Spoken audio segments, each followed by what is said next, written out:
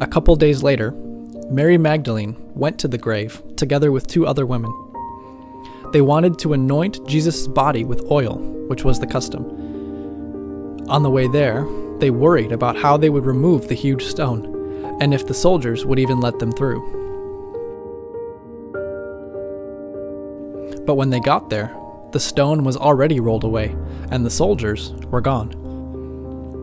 They went into the tomb, and all they found there were the cloths that Jesus' body had been wrapped in. Then a messenger from God, an angel, appeared to them. He said, Don't be afraid. Jesus isn't here anymore. He's alive. The women were overjoyed and went to tell the other followers of Jesus about what had happened. The others couldn't believe it at first. Peter got up and ran to the grave to see for himself. He found the tomb empty, just like the women had described it. Deep in thought, he went away, puzzled about what might have happened to Jesus' body.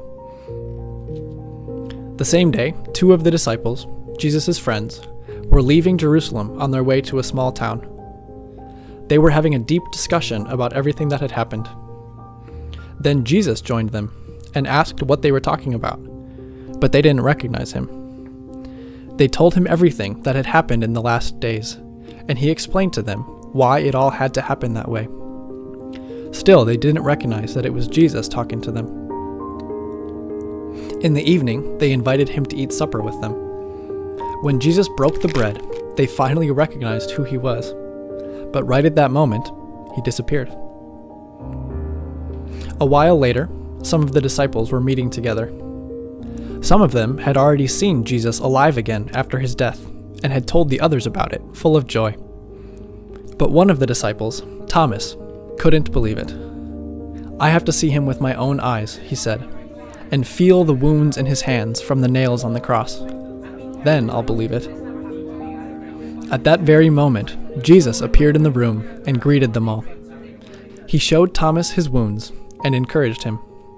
You believe now because you can see that it's true. Happy are those who believe even without seeing. Then they ate together and were overjoyed to have Jesus with them again. After coming back from the dead, Jesus spent 40 days together with his friends, who he called disciples. One day, he gathered them all together on a hill. The time had come for him to leave. He had one last thing to tell them. To me has been given all the power and authority in heaven and on earth. Therefore, I am sending you out to all the nations of the world. Make them my disciples too. Baptize them in the name of the Father, Son, and Holy Spirit, as a sign that they belong to me and teach them everything that you learned from me. You can be 100% sure that I will be with you always, no matter where you are, until the end of time. After that, Jesus was covered in a cloud and vanished.